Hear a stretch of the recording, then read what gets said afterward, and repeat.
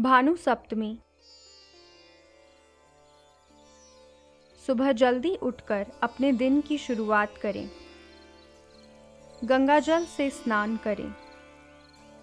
पूजा घर में रंगोली मांडे।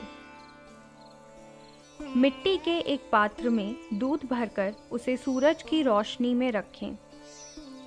इसी दूध का उपयोग अप्रसाद के लिए खीर बनाने हेतु इस्तेमाल करें। पूजा घर में सूर्य देव की तस्वीर अथवा प्रतिमा स्थापित करें। सूर्य देव को पीले रंग के फूल चढ़ाएँ। घी का दीपक प्रज्वलित करें। ऐसी मान्यता है कि भक्तजन जो यह सभी अनुष्ठान करते हैं, उन्हें शांतिमय जीवन का आशीर्वाद प्राप्त होता है।